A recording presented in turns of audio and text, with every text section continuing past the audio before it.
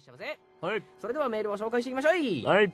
えー、クラスメイトネーム、ナシフルーティーさんですね。ナッシュフルーティー。フルーティーだよね、ナシはね。イエーねえ。カジ君、ベシさん、ついに私もアルコーンを見つけてしまいました。あそれは、私の兄です。兄弟か。兄か兄コーンだな。うん。私と兄は、決まっちゃったじゃん。じゃ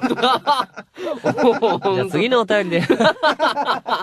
紹介しようと前に最速じゃね？はい。すごいな。私と兄は10歳年が離れていて、うん。私は17歳、兄は27歳です。年が離れているせいか、私の兄はうんシスコン。おあ、そうなんだ出。たシスコ兄が仕事から帰ってくると、ン。出ちゃった。じゃあ次のお便り。最速もいいところだな。最速だし、最多だし。ごめんごめんはいはい兄が仕事から帰ってくると、うん私に抱きついてくるし、お、そうなんだ。私が友達と出かけようとすると、誰と行くの？誰と行くの？としつこく聞いてきますす。げえなそれだけではなく、ここには書ききれないくらいたくさんのシスコン行動があるのですが、うん。あの、付きまといっぷりと言ったら、ただのシスコンじゃありません。うん。以上です。正直うざすぎます。兄かわいそうに。絶対やるコンです。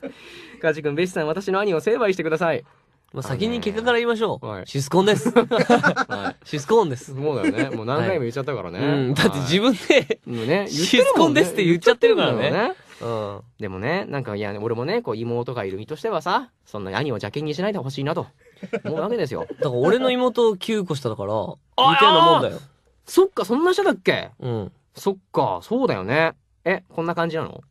いやいやいや。だってそもそも一緒に住んでないし。ああ、そうか、そうか。うん。仕事から帰ってくると抱きついて。ついたりとか。すごいね、それ。え、ただ、今ってこと？ただい。はい。えそして友達と出かけようとすると、誰と行くの？誰と行くの？と。誰と行くの？はえ、誰と買い物行くの？みたいな感じなんでしょ？すごいね。本当彼氏感だよね。そうだね。でも俺、ああ、でも俺でもこういう感じじゃなかったけど、でも割と妹と一緒にあの買い物に行ったりとかはうーんする、友達タイプ？ていうの？うん。感じだったから。何個下だっけ？あ、一個下。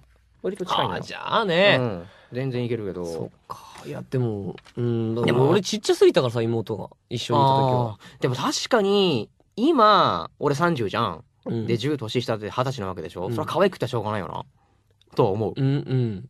うん。うん。いや、だから、年が離れてはやっぱり可愛いもんじゃん。あうん自分の身内だとさ、うんうんってことだよ。うん。うん。若い子がみたいな感じ にしか聞こえなかったから今。そうか、ごめんな。うん俺の言葉が足りなかったよ。